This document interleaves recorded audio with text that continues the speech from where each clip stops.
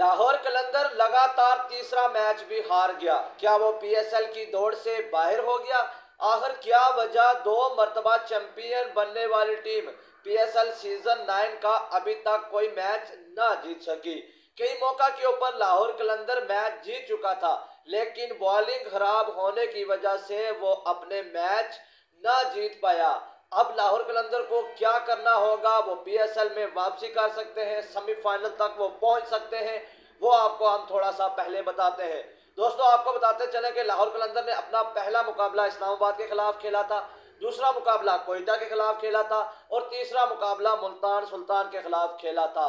लगातार इन तीन मुकाबलों में लाहौर कलंदर को शिकस्त हुई है।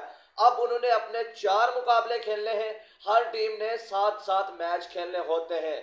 लेकिन अब लाहौर कलंदर ने जो चार मुकाबले खेलने हैं, इन चार मुकाबलों में जीत हासिल करनी है। जैसे भी हो, मैच में पीएसएल में वापसी करनी है सेमीफाइनल तक पहुँचना है तो फिर ये चार मुकाबले हर सूरत में जीतने होंगे। शहीन अफरीदी को दिमाग में ये चीज़ बिठा लेनी चाहिए। अब चार मुकाबले लाहौर कलंदर जीत भी जाता है तो फिर भी सूरत हाल अगर मगर पर अटक जाएगी।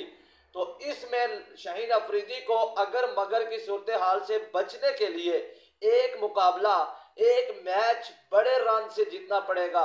मिसाल लीजिए, लाहौर कलंदर अगर 200 रन का टारगेट दे देता है तो दूसरी टीम को 120 या 30 रन के अंदर अंदर लाहौर को आउट करना होगा।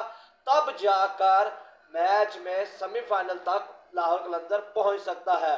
मुल्तान और सुल्तान के, मुल्तान सुल्तान का जो मुकाबला था लाहौर कलंदर के खिलाफ, जो रात को खेला गया, उस मुकाबले में फिफ्टी परसेंट मिसाल लीजिए फिफ्टी परसेंट लाहौर कलंदर मुकाबला जीत चुका था। लेकिन इफ्तार अहमद से पंगा लेना महँगा पड़ गया था, जिसकी वजह से शहनशाह अफरीदी को खमियाजा भुगतना पड़ा।